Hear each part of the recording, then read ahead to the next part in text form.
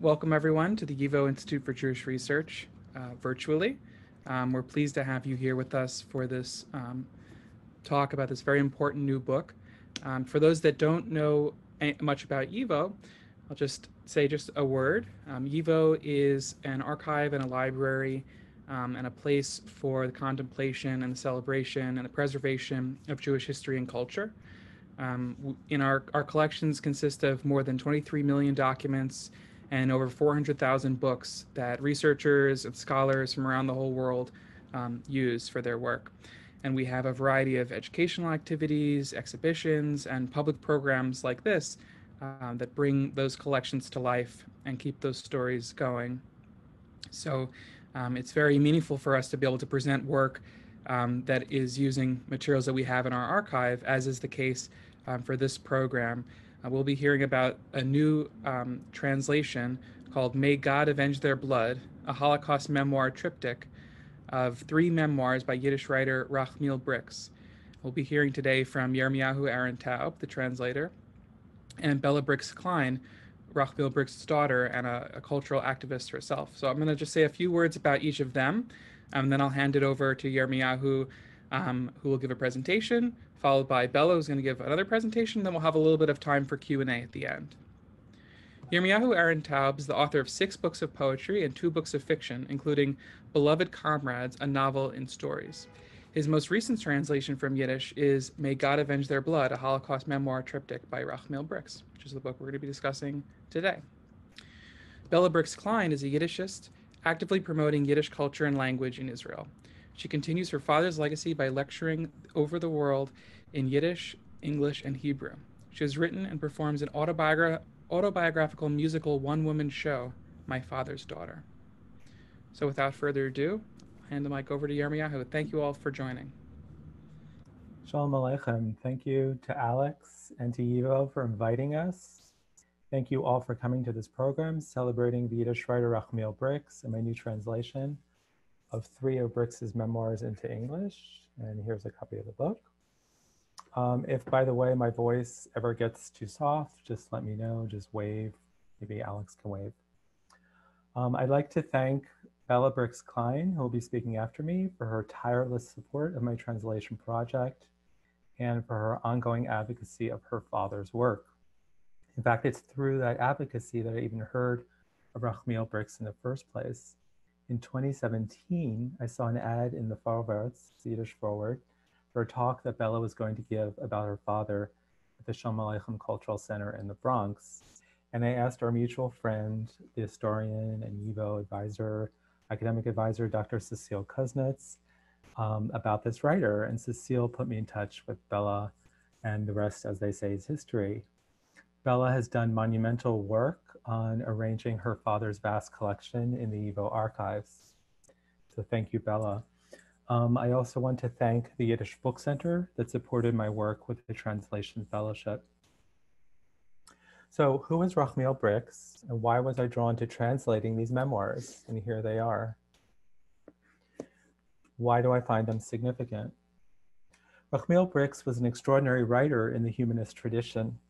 His work is characterized by a flair for lively description and narration, deep empathy for his characters, and a carefully calibrated attention to moral complexity. Even in the darkest of circumstances, he's interested in the humanity of all those he is observing, including perpetrators of evil. Bryks was particularly adept at capturing the dialogue of a wide spectrum of protagonists, Jews in the shtetl of every political and religious persuasion, passengers on trains, pedestrians on the street, concentration camp inmates and guards, among many others. His humanist interest is apparent in the carefully hewn folk style he perfected. Written in spare, almost documentary-like prose, his texts reverberate in emotional urgency and power. This understatement was quite purposeful. As he argued in How to Write Churban Literature, translated by Joseph Leftwich. How can it, writing about the Holocaust, be done? By writing concisely, compressed, without embellishment, without adornment. We must not repeat, we must avoid any superfluous word in prose even more than in poetry. I hold that we must express the hardest thought in the simplest way so that everyone will understand. Those who didn't survive, the first work in the triptych, is an elegiac, deeply affecting memoir of Bryks's shtetl, Skarżysko Kamienna. And I forgot to share a screen.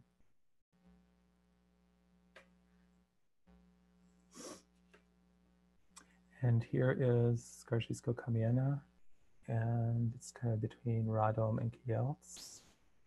And Lodz is up here, so you can see the, some sense of where Skarżyski is in Poland. As its title demonstrates, wo seien nicht eschews a self-focused approach, centering instead on the author's maternal great uncle, Mendel Feldman, a wealthy chassid with influence in the Jewish and Polish spheres. Indeed, the book's entire first passage is devoted to a physical description of her Mendel and a highly detailed one of his clothing. The reader gets to feel the weight, solemnity, and color vibrating beneath his extended sartorial meditation. Significantly, we learn early on that Rachmil Bryks, the author, was named after Mendel's learned father. Taken as a whole, this first book in the triptych is a part character study, part reportage, part collection of folkways and vignettes. The protagonists are colorfully described, and these scenarios are expertly drawn. Bryks presents the shtetl's folk traditions and an extended cast of characters, while always returning the thread back to Reb Mendel. In the process, a vivid collection portrait of an annihilated Jewish community emerges. What initially appeared to be a hagiographic approach on the part of the author to the text's larger than life, almost mythical main character, slowly moves in quite a different direction altogether. It is certainly tempting to view Reb Mendel's life and end as a metaphor for the fate of Polish Jewry itself. In this work, Bryks's narrative approach is unconventional. There are no chapter breaks or readily apparent chronology. The book is more a panorama chock full of anecdotes, characters, customs, and details than a traditional memoir with a linear narrative drive. We meet individuals from nearly every sector and political stripe of society, Jew and Pole, rich and poor and in between, men and women, religious and secular, Zionist and socialist. We meet Bryks's maternal grandmother, Liebe, the sister of Mendel, who, like her brother, gave generously and un unhesitatingly to the poor. We meet Yido Kogan, known as Yidele with the Fidele, who wasn't given a Jewish name because he was uncircumcised. And this was permitted by the rabbi because six previous sons had died as a result of circumcision. We meet Mendel's daughter, Esther Rivka, who elopes in marriage to a non-chassid. We meet the ne'er-do-well Shmuel Yaina, with his dreams of striking it rich and so many others. Here's a description by Bryks of Chaim Yankel, Cockle-Doodle-Doo. Who was Chaim Yankel, Cockle-Doodle-Doo? He was the leading lunatic of the shtetl, the son of a tailor and an old bachelor. Industrious, always engaged in the hard labor of carrying water, chopping wood, cleaning, and sweeping. He worked at the bakeries. Whenever he was given a few groshens, he clapped his hands like a rooster flapping its wings before crowing. He even crowed like a rooster, cockle-doodle-doo, entertaining bystanders. The schoolboys in particular had fun playing around with him. In World War II on Simchas Torah, as the Germans and Ukrainians liquidated the ghetto of Skarżysko Kamienna, Poland, Chaim Yankel Cockle-Doodle-Doo hid in the boiler of the mikveh where he was shot. Chaim Yankel Cockle-Doodle-Doo was a regular guest in Reb Mendel's home too. And one of the things that I love about this passage is that there's so much compressed into it. We learn about Chaim Yankel's background, we learn about what he did, we learn about his connection to the other people in the shtetl, and we learn about his end, and then yet again, we learn about his connection to Reb.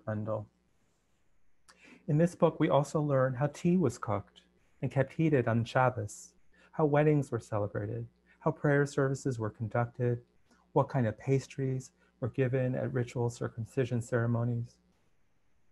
Largely assuming the observational position of anthropologists, Bryks makes rich use of his powers of description and talents at capturing lively dialogue and compelling narration. Only occasionally does he insert himself into the events of the book.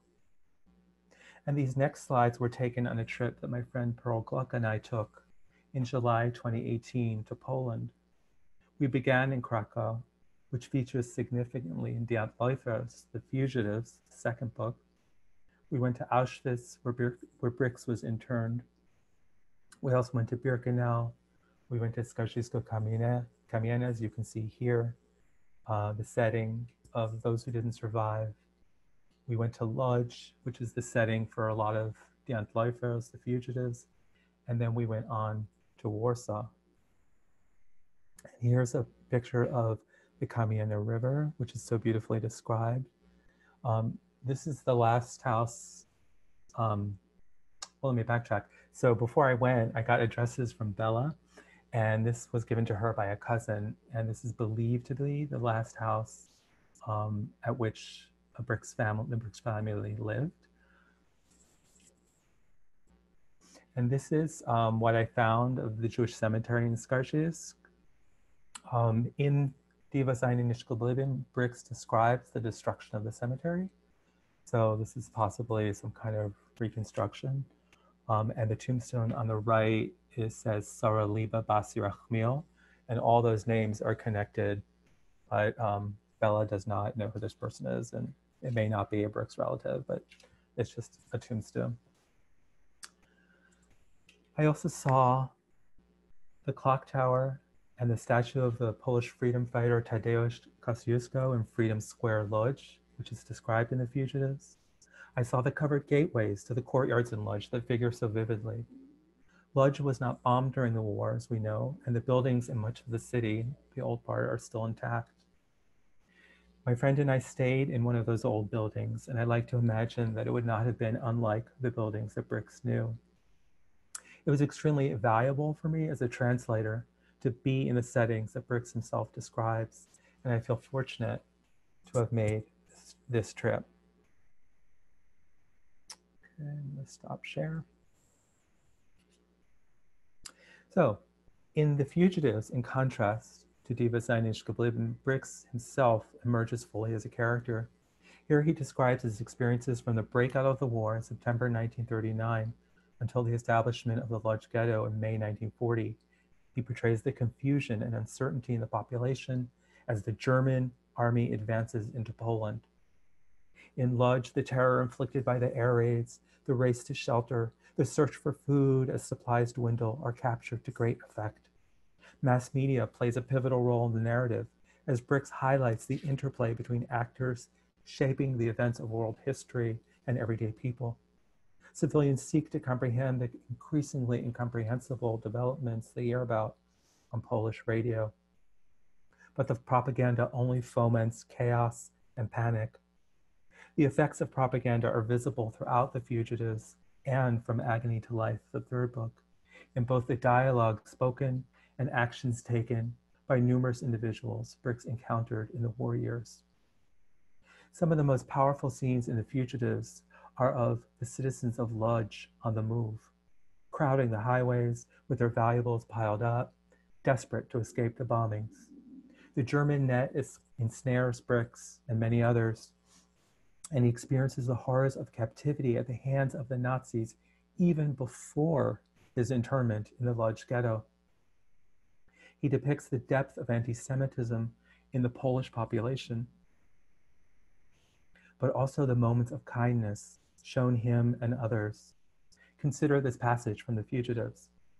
When we arrived in the village, we saw that all the cottages were full of fugitives who were returning home. The peasants received them hospitably they cooked potatoes for them and they gave them milk. In the field, I spotted a poorly maintained old cottage with a straw roof. I said, Let's try over there. When we approached, a young peasant woman with a small child greeted us warmly. There wasn't a single fugitive here. Is that it? Is the war over? She naively asked. Praise Jesus Christ. In that case, my husband will also be coming home. Maybe you've seen him somewhere. He was taken for military service two weeks ago. How naive she is, I thought. The war has only just begun. And her husband? Perhaps the Germans have captured him. Or who knows, he might have fallen on the battlefield. I envisioned her as a young widow with a little orphan. I comforted her. Sister, your husband will certainly come home, but it will take a while because he has to go by foot, and it's a long way from here. On her young, beautiful face, a hopeful smile emerged, but just as quickly she grew pensive and her sadness returned. The woman quickly peeled and cooked potatoes and warmed up some milk. We ate and were refreshed. Then she cut two pieces of homemade black bread for us and said, The mill is still standing, but who knows when I'll be able to ground rye to bake bread. The bread tasted delicious. I marveled at her generosity. After the meal, I took out money to pay her, but she didn't want to accept it. After I pleaded with her, she finally relented and accepted the money. She said we could sleep in the attic on the hay or in sta- or in the stable on the straw. We went into the stable, closed the gate, and lay down on the straw. Bryks and his fellow traveler debated whether to stay a while at this Polish woman's house. Bryks allowed himself to be convinced to go back on the road sooner than he wanted. This decision not to stay would have fateful consequences for them both. In contrast to Holocaust memoirs that, that gloss over the events at the beginning of the war or begin with the internment in the ghettos, the fugitive dramatically delineates the hopes, uncertainty, and mounting desperation at the early stages of the war, before the Nazis tightened their chokehold over Poland and mastered the machinery of industrial scale genocide. I am not aware of any memoir that portrays this period with such detail and power. The final work in the triptych, Gesichter zum Leben, From Agony to Life, charts Bryks's deportation to experiences in and liberation from Auschwitz and other internment camps. His depiction of the camp experience is relentless. The effects of starvation, privation, and brutality on the body and the soul, the tedium in the camps, and the terror in being shunted from one camp to another are rendered with stark clarity. Bryks probes the dark recesses of human agency, sparing no one, least of all himself, from his own unflinching eye. He finds moments of connection and courage amidst the conditions of extremity. His belief in art as a life force and his commitment to his own calling as an artist is a leitmotif in this and indeed all the three works translated. So that's something about the books that I've translated. Now I'd like to speak just a bit about Bryks himself. Born and raised in a Hasidic milieu in Skarżysk in 1912, Rachmil Bryks was a prolific and highly acclaimed Yiddish poet and writer. He was the third of eight children. At the outbreak of World War II, he was in the industrial city of Lodz, working as a hat maker and house painter. Most of his family perished in Treblinka. His brother Yitzhak perished in Auschwitz in 1944. His brother Simcha Lazar served in the Polish army against the Nazis and helped liberate Poland. In June 1946, a Polish nationalist, though after the war, Polish nationalist shot and killed Simcha and his bride, Sonia Milstein, two days before their wedding. And in the YIVO archives, there are really powerful letters from Simcha to Rachmil about numerous topics, including um, when he first met Sonia and his falling in love with Sonia. Of his immediate family, only Rachmil, his brother Yosef, and his sister Liba Lucha survived the war and its aftermath. Bryks was interned in the Lodz ghetto from 1940 to 1944, and Bella is going to talk a lot more about that, where he continued to write and participate in literary events. In August 1944, he was transferred to Auschwitz and later to Watenstedt, Ravensbrück, and Wöbbelin. And now I'm going to go back to share a screen.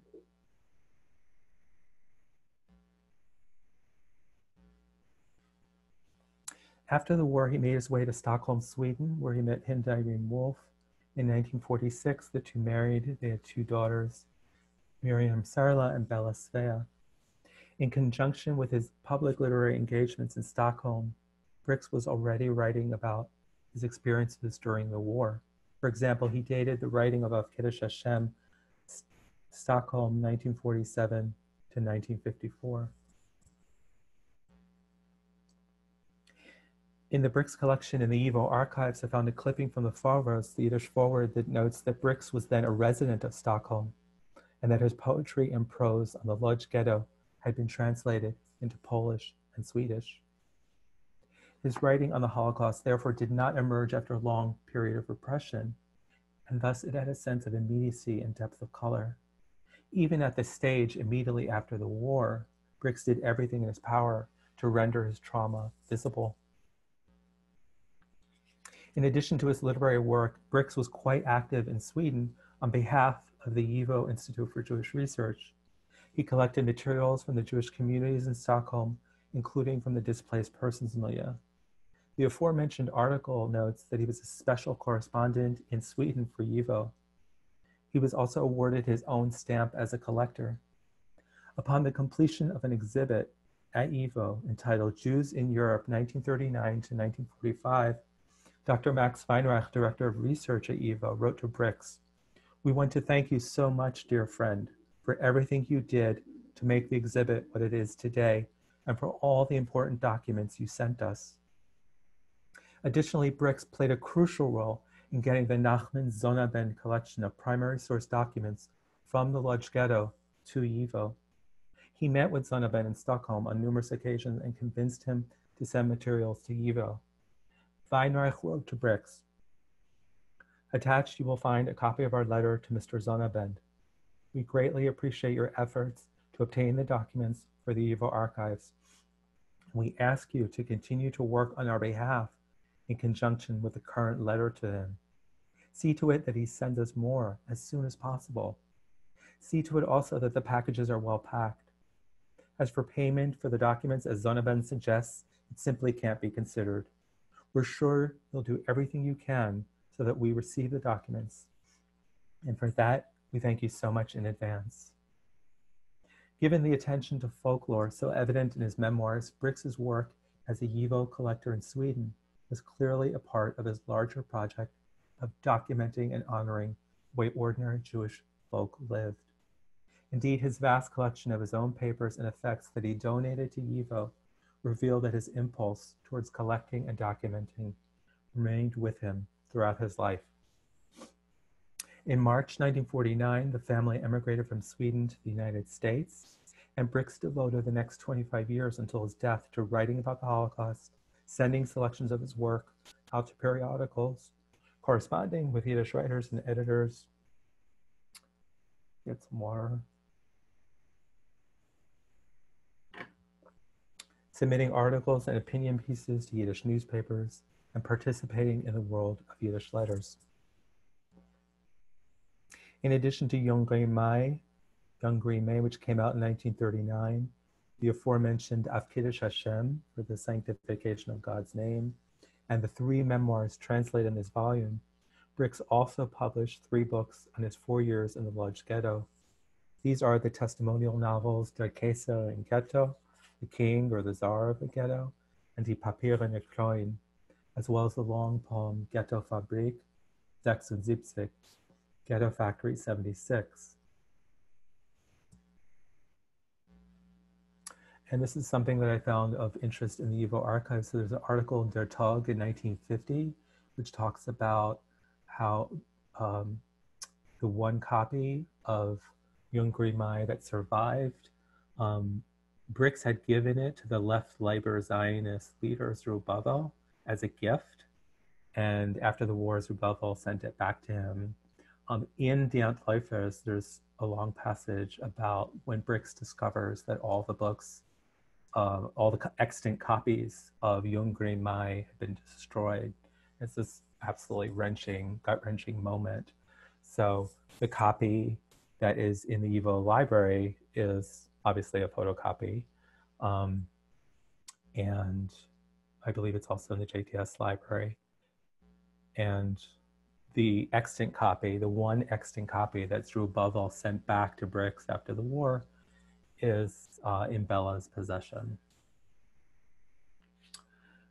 Bryks's writing was highly regarded in Yiddish, circles and beyond. He won praise from the Nobel laureates Agnon, uh, Shinyu Agnon, and also Isaac, Isaac Bashevis Singer. Um, Dr. Critics such as Dr. Mukdoni, scholars of Yiddish, Irving Howe, and Sol Liptzin. He worked hard to disseminate his work and cultivated extensive friendships among Yiddish literati. And I'll read just a few really quick excerpts.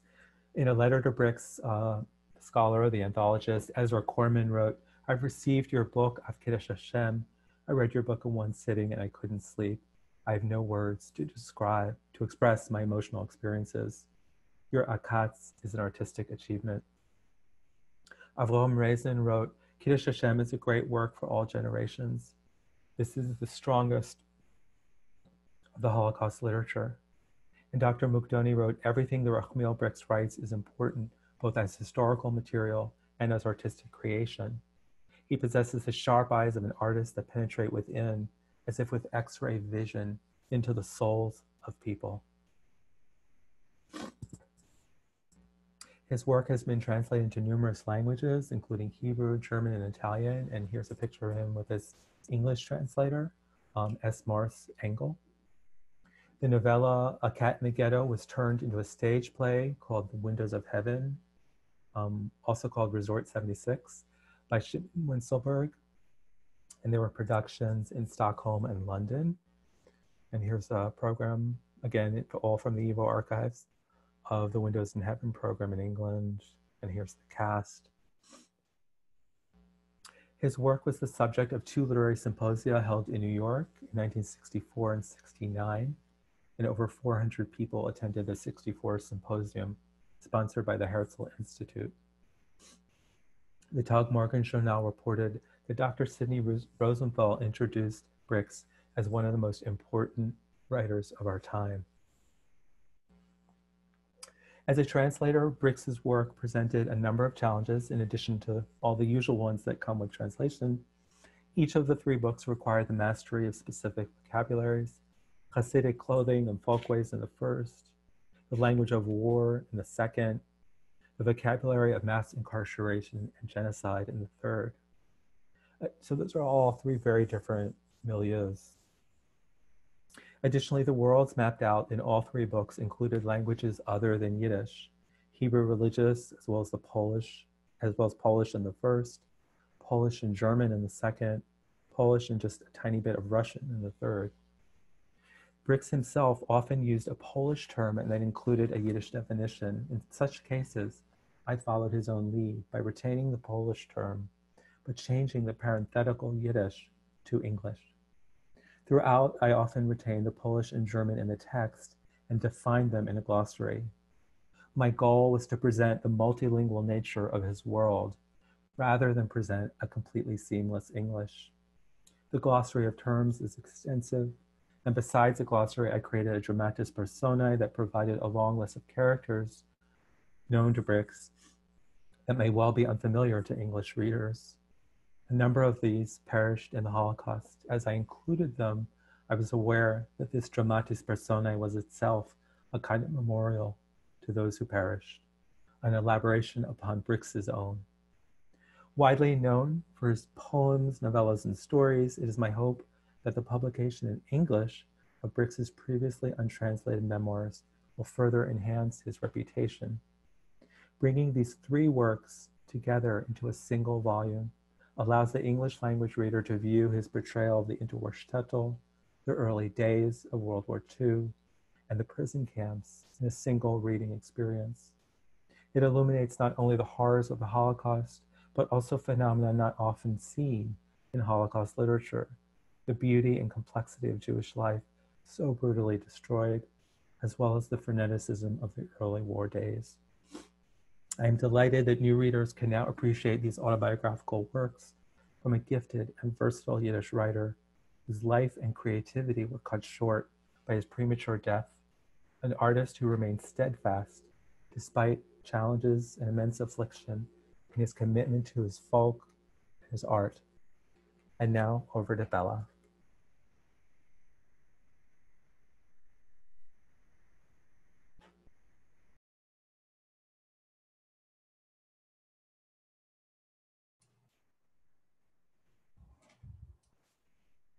Oops.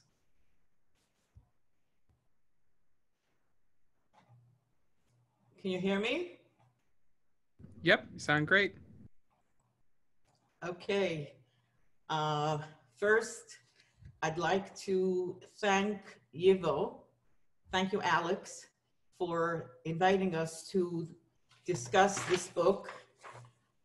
Uh, Yivo, today, it's a very meaningful book talk for me because Yivo was significant and an integral part of my father's life. Uh, I'd like to thank also Yermiyahu for his wonderful, accurate translation of my father's books. It is important to tell my father's story. Uh, when I hear someone who denies the Holocaust or doubts that it took place, it makes me very upset and very angry because I know that it took place. Both my father and my mother suffered and survived. But they lost a major part of their family parents, sisters, brothers, cousins. Um, my father felt that it was his mission as a witness to tell the world what the Germans did to the Jewish people between 1939 1945. Uh,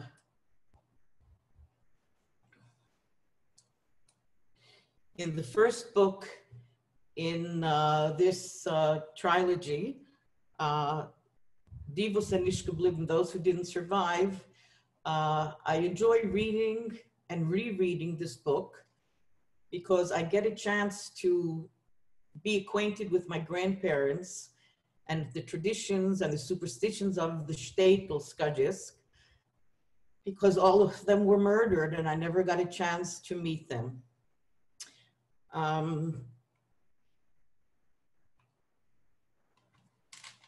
why doesn't this move? Just a moment. In uh, 2011, my sister Miriam and I flew to Poland to see Skarżysko Kamienna.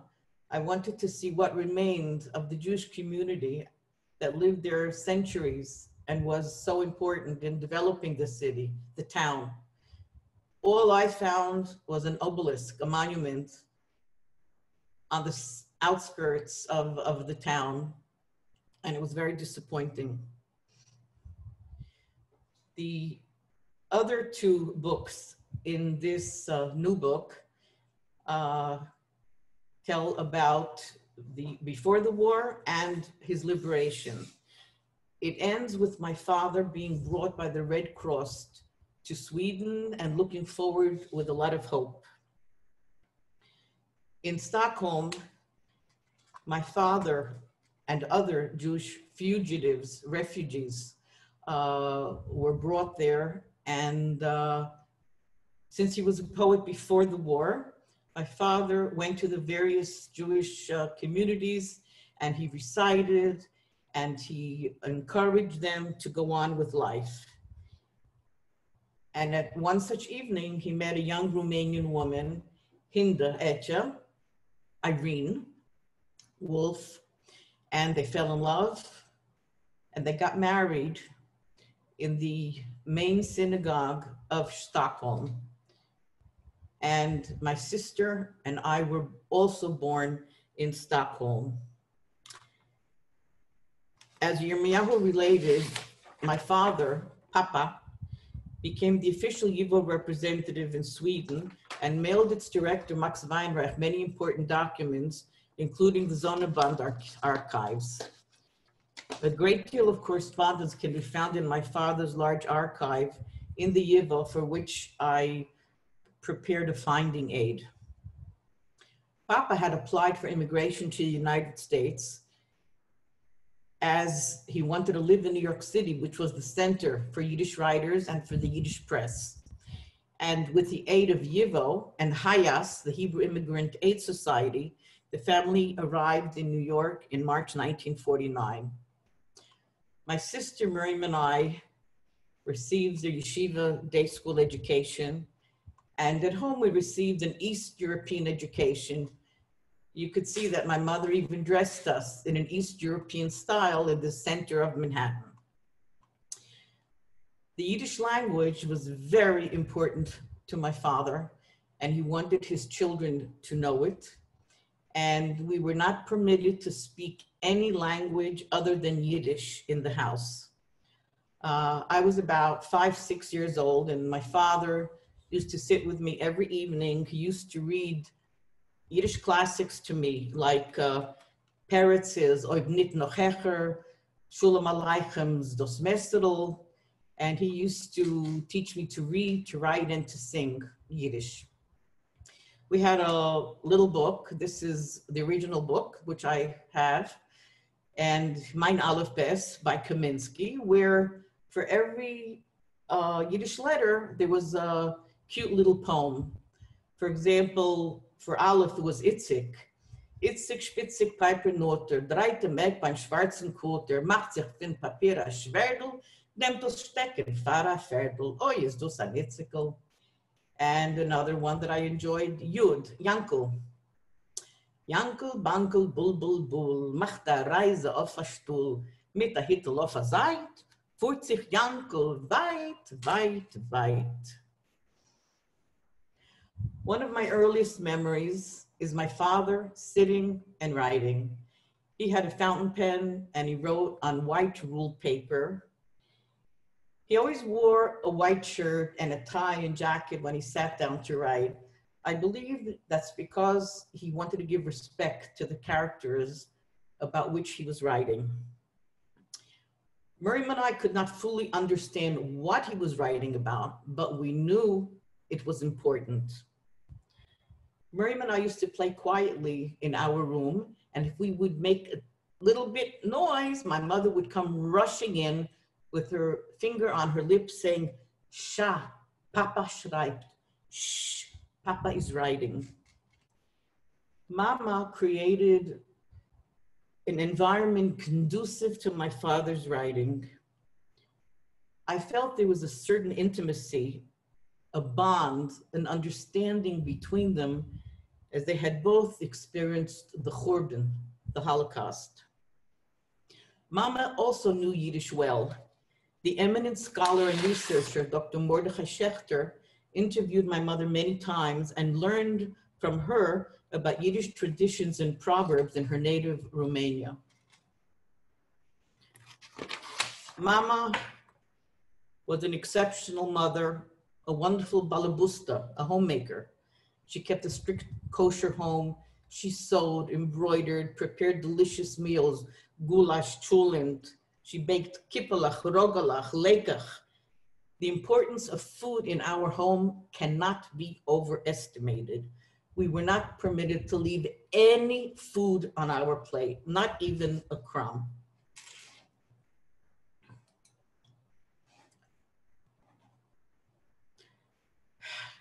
Papa could not keep a steady job because he was not in good health. We never had money at home. We were brought up with love and spirituality material things were not that important. Mama did not own any diamonds or furs. She used to say, say in meine Brillanten. They are my diamonds, pointing to Miriam and to me. The truth is, my father, we could have had an easier life, but Papa refused to submit for Wiedergutmachung, for reparations from the German government. Papa was a man of principle. In his first book, he added a customized stamp declaring no German reparations money was used to print this book.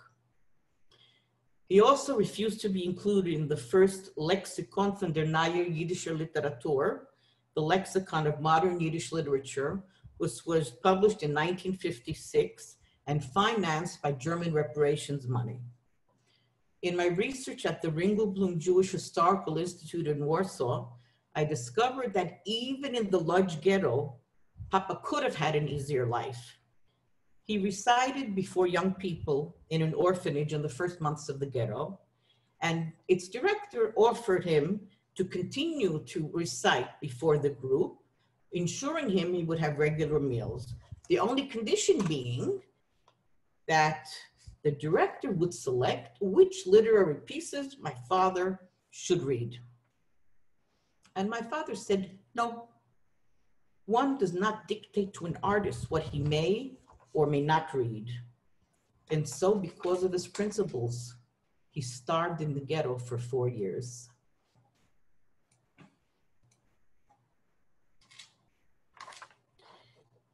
I was, in essence, my father's secretary.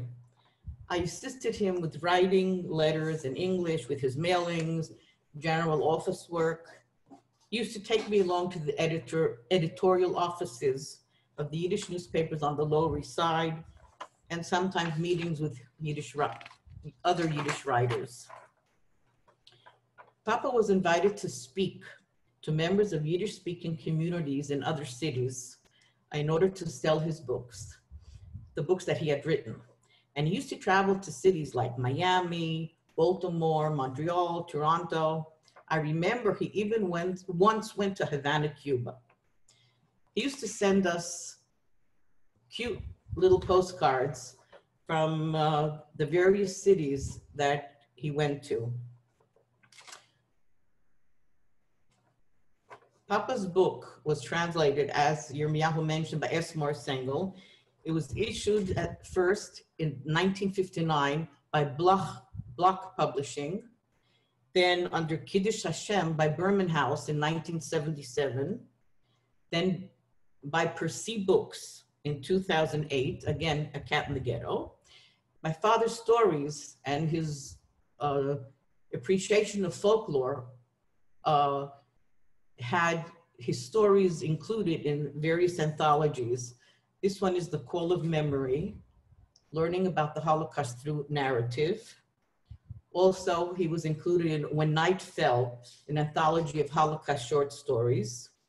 And the play that Yermiyahu mentioned, uh, The Theater of the Holocaust book by Skloot, uh, is also included. It was dramatized by Shimon Wincelberg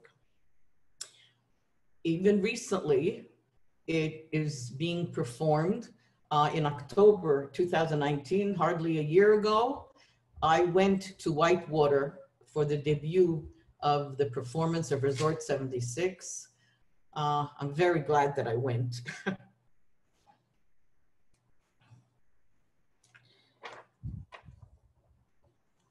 the Holocaust, the Khorban, was always present in our home. We grew up in its shadow every single day. My father never stopped talking about it.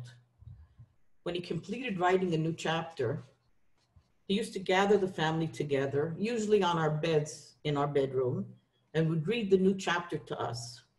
Sometimes there was a difficult description, and Mama would say, Laien dus nicht, dus ist schwer für die Kinder.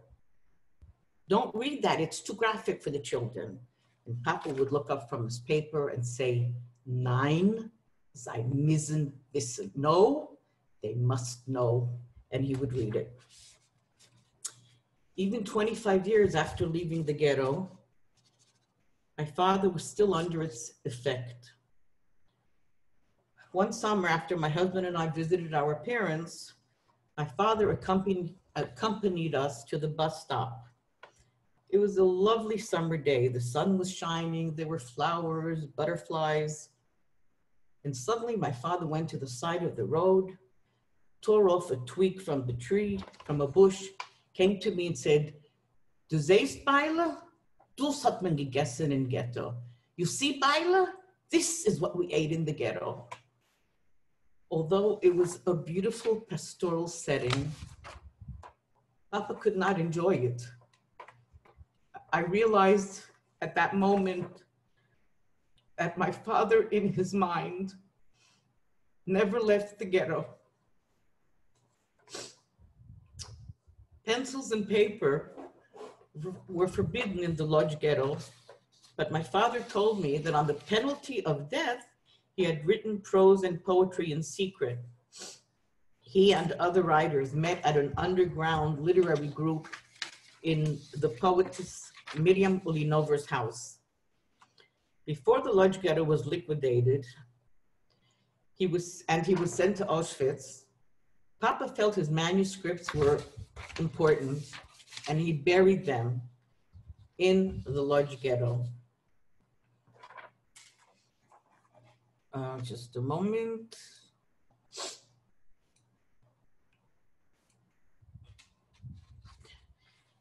In the Yivo archives, I found this postcard from his youngest brother, Simcha. And in this postcard, he's answering my father in Sweden.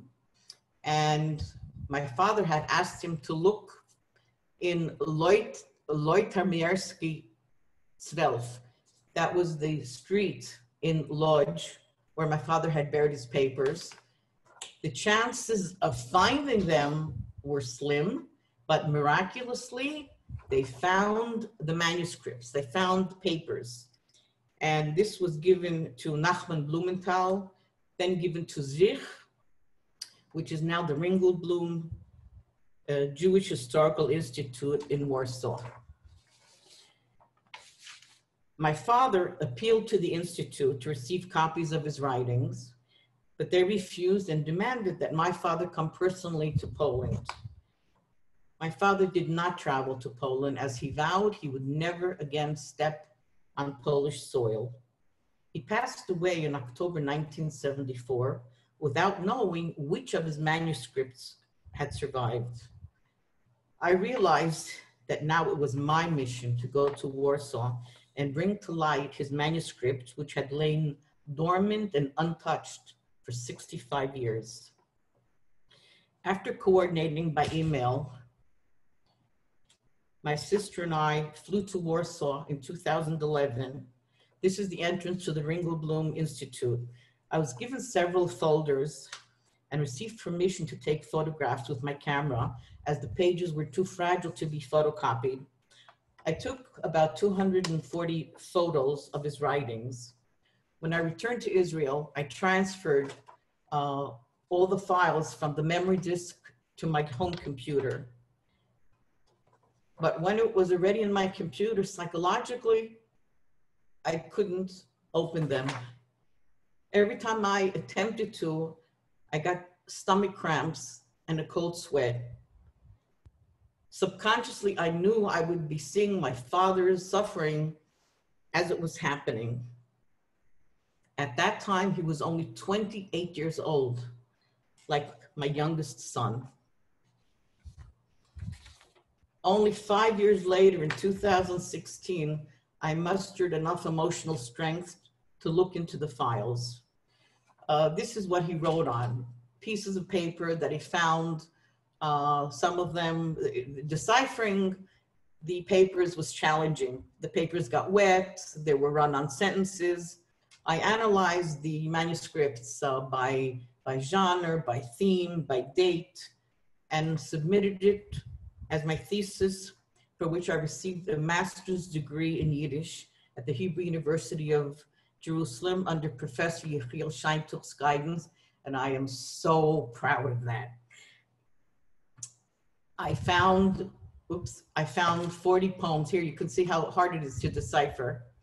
Uh, I found 40 poems, 31 narratives, 12 letters, six invitations. This is invitations for recytacja. It's in Polish in the Lodz Ghetto. You can see the date in 1940. And I also found his repertoire. This is one of the programs. I found uh, four different programs. And what was interesting for me, uh, of course, on top it says Mem Mem Samach, Mendel Moykher Sforim. Uh, in other place, uh, other programs, there was Sholem Aleichem. That's understandable. And of course, his own uh, creation. But what I found surprising, the fifth name is Sinclair. And my father would read Boston Fragment, which to me was amazing. An American writer, which my father knew about. He never had a formal high education. Uh, he was an autodidact and uh, he taught himself, self-taught. One of the poems I found, Nicht verzweifeln, uh, I, I found in three versions. Uh, this is the latest one, which my father later copied in his own handwriting. Nicht verzweifeln, do not despair.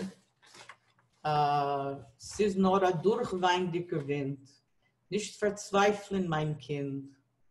Wir sind in alte Bämer, tief und breit in der Erde verwurzelt, mit größeren Kräunen, wo spazieren die Welt.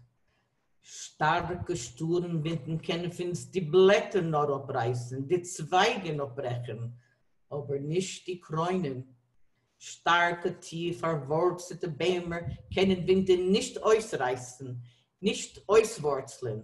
Wir sind in Bämer ewige, was geben der Welt eure Speisendicke. Wir wollen eibig sein. Es ist nur ein durchweindiger Wind. Nicht verzweifeln, mein Kind. This is the Hebrew English translation. And uh, I wanted to mention that my parents uh, were very proud of the state of Israel.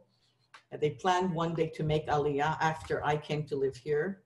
When Ben Gurion came to Israel, sorry, came to New York for the first time as prime minister, there was a parade on Fifth Avenue. Uh, a passing journalist took a picture of us. So we're holding American flags and Israeli flags.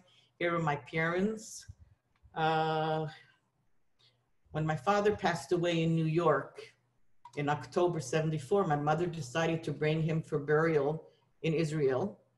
And he's buried on Har Hazeitim, the holiest place in, in Yerushalayim. And my mother bought the plot next to him, and she passed away 26 years later. And uh, I guess they made Aliyah after their death. Uh, it is a meaningful time right now because my mother just had a yort site, Erev Rosh Hashanah, uh, 20 years, and my father will have a site 46 years, uh, Chol Sukkot, in uh, 10 days. My father wrote me a dedication in his book. Mein liebe Tochter Beile Svea, am Matuna mein Seiferl, geschaffen mit Jesirem und Tränen, als a geistige Matzeiver für deine älter Eltern und Mischbuche, wo es denen umgebracht geworden durch die Deutschen und seine Mithelfer, Yimach Shmam, in Tafshin, Tafshin Hey. Ich bin sicher, als die, das fortsetzen meine Idee mit schäferischen Wort, sei mit der Feder und sei der Peh. And in uh, English, a gift to you, my book created with agony and tears as a spiritual monument for your grandparents and family who were murdered by the Germans and their collaborators. May their names be blotted out during the years 1940, 1945. I am certain that you will continue my idea creatively with your written word as well as with your spoken word. I realized later that this was in essence his will. And with this Zoom, I carried out his will. Thank you very much.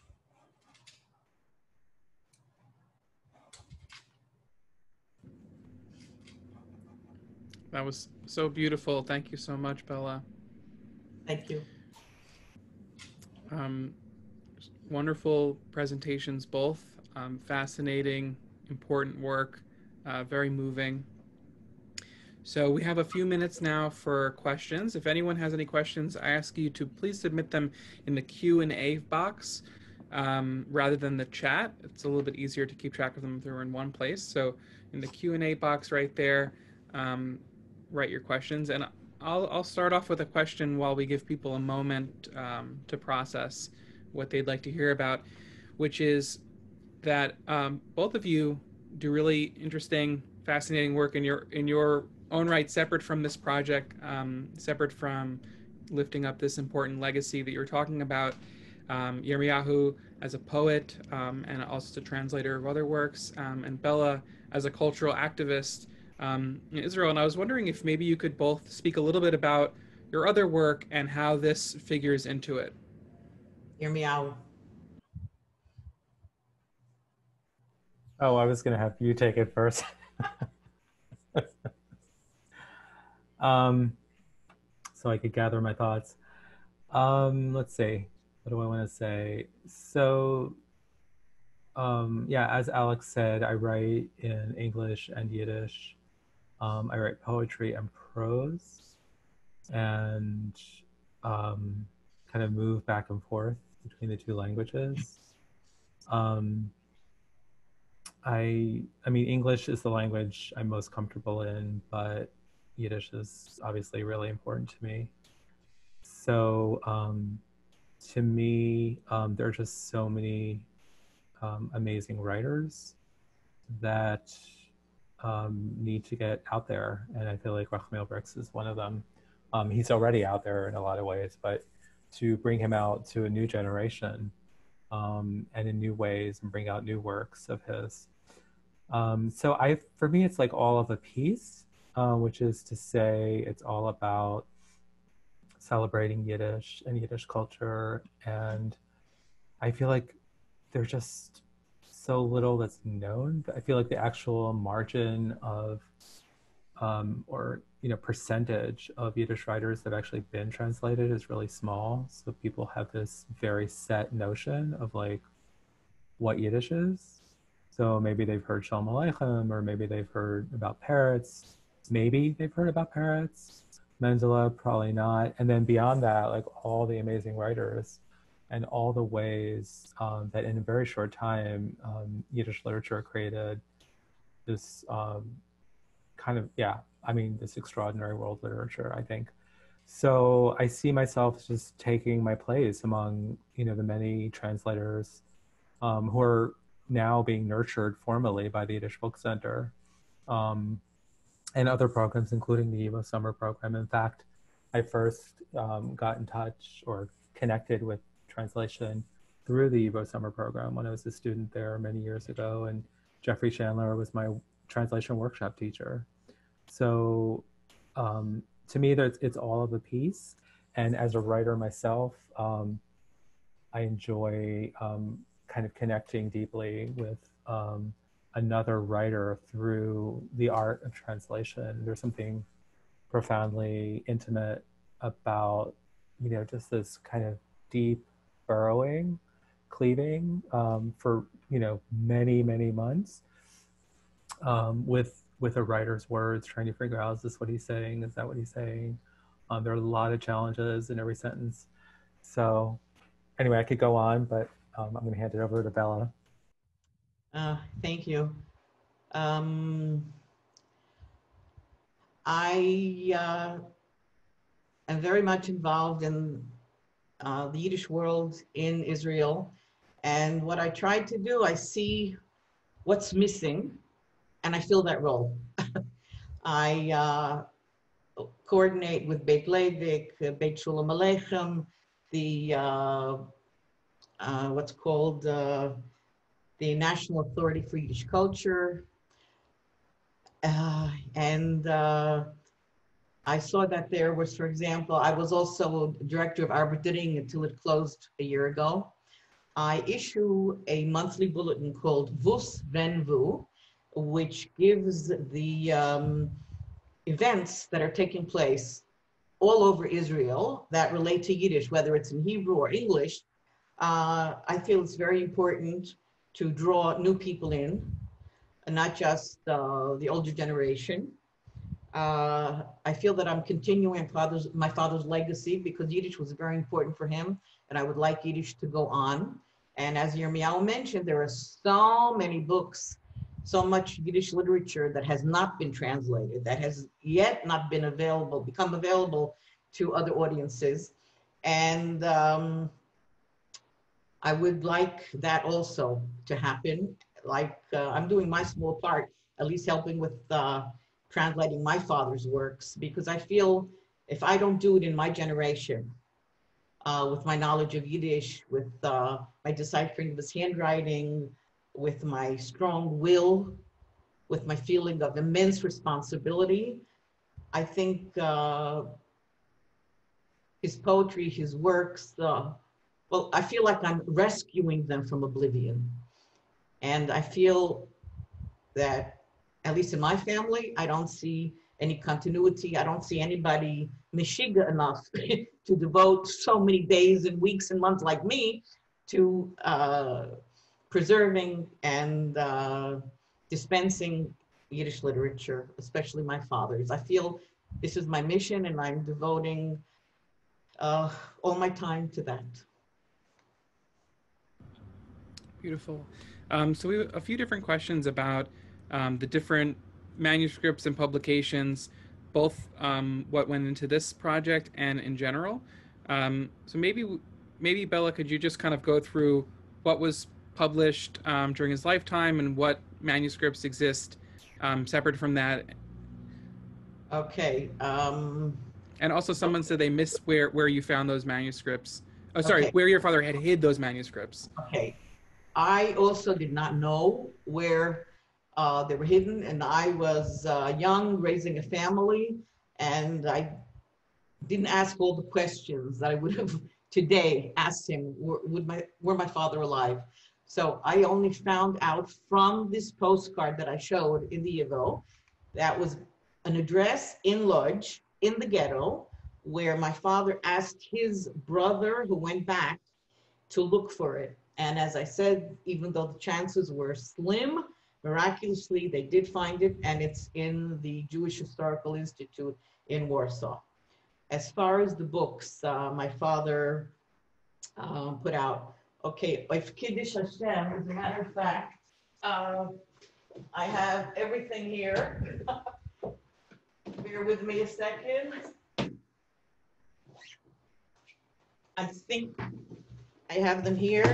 The first book, Oif Kiddush, can you see it? Oif Kiddush Hashem, which includes a Akatzin Ghetto. This is about Auschwitz and um, larger ghetto.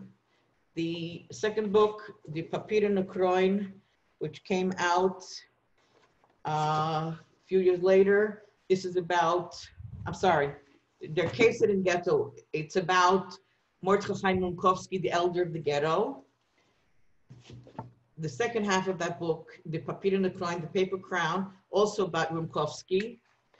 Uh, Ghetto Fabrik, one second, I missed the book. Ah, Ghetto, Ghetto Fabrik, Ghetto Factory. It's half English, half Yiddish, which is a ballad my father wrote in the Lodz Ghetto, and he read it at a banquet, and he was put on the list to be deported to uh, Auschwitz, but he was saved because someone, so there were some other writers who had protectia.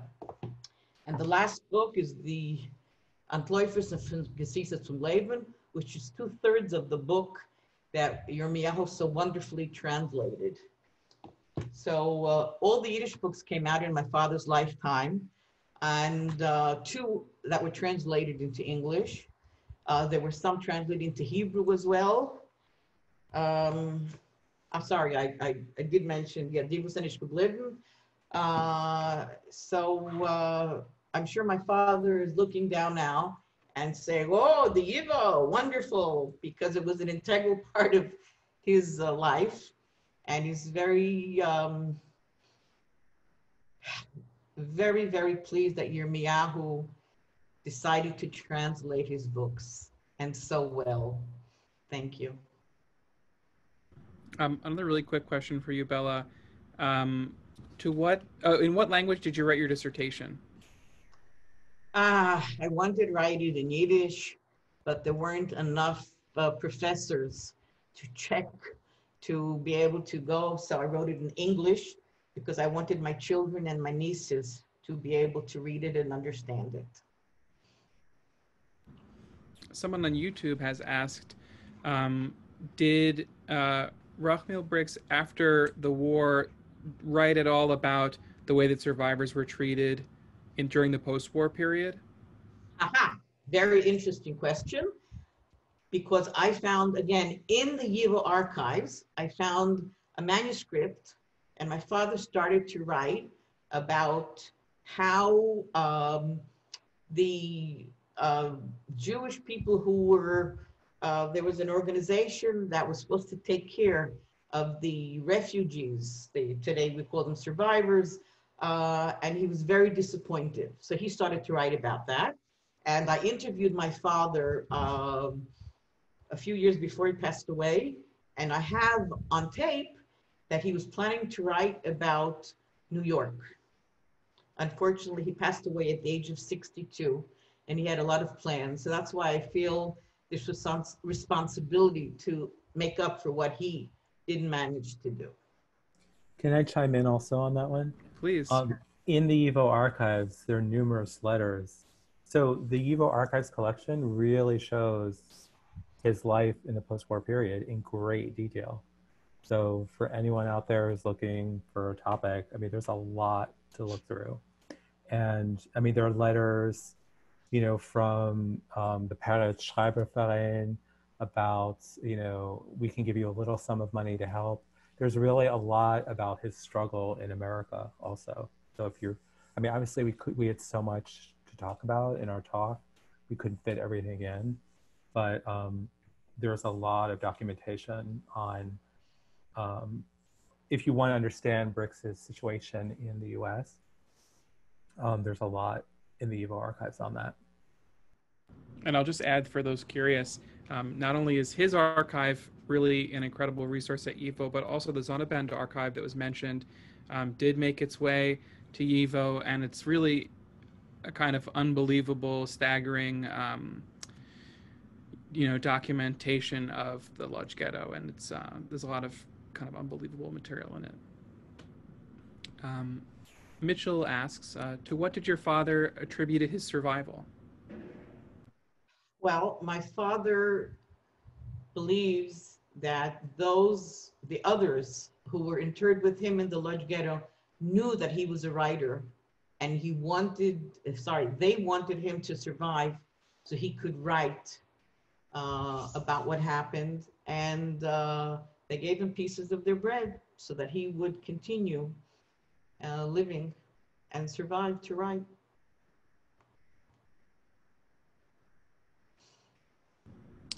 So we've, we've a lot of very nice, kind messages, um, but for now, that seems to be all of the questions. Uh, oh, Uh, yeah. something else just came in. Um, uh, Beth Beth asks um, for some clarification about the word churban. Is this the Yiddish word for Shoah, yes. or is there a slightly different, nuanced meaning? She asks. Well, I know at home, we never heard the word Holocaust. Mein Tata tumit gesucht im Churban. He always said Churban, which meant Holocaust. Churban, ze lachrov, kidu, devastation or destruction. Uh, and this is the, the Yiddish word. Uh, Yermiyahu, you agree with me? So yes, I mean, as Bella was saying, Horban is a Hebrew word for destruction. So we say Horban Beis but you know, the destruction of the Holy Temple. But in Yiddish, when people say Churban, they mean the Holocaust. So whereas Shoah in Hebrew means Holocaust, even though the word Horban is of Hebrew origin.